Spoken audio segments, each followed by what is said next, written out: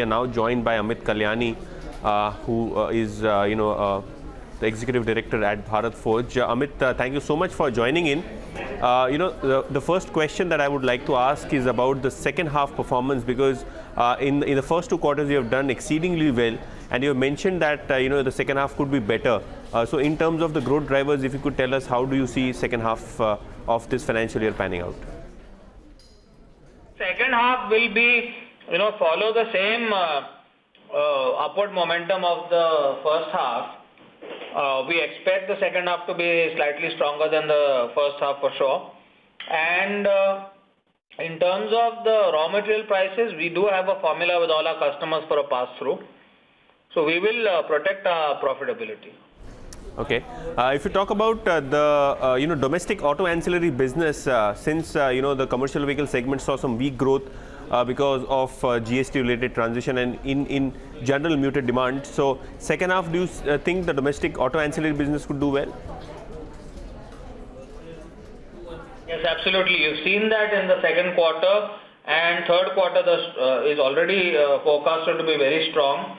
So I think uh, the post-GST CV market should be fairly strong in the second half. Uh, I was looking at the Class 8 truck order data and uh, you know the US markets have been quite strong, especially the Class 8 truck orders which have come in uh, for the last two months or so. Uh, so in terms of uh, the outlook for that particular market, uh, how do you see things shaping up for a company like Bharat Forge?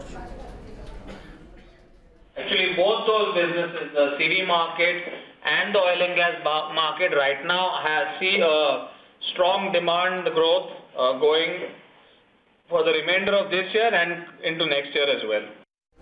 Okay, and uh, talking about the oil and gas segment, uh, wherein uh, you get a lot of business from the shale oil players, uh, since crude has, uh, you know, uh, has seen some firming up of prices in the last few months or so, do you think that segment also could pick up in the second half for the company? Yes, absolutely. I think that business will remain steady and stable, and then will grow once we create new products for that business. Amit, what about the uh, European operations? Uh, how do you see the capacity utilization shaping up there and uh, in terms of growth, how do you uh, see that region shaping up? Our uh, subsidiaries in Europe are doing okay. Actually, they're doing quite well.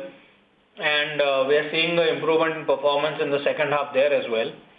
And right now, capacity utilization is fairly strong and our uh, aluminum facility in Germany is running at full uh, capacity now and is performing extremely well. In fact, uh, better than what we had projected in the past.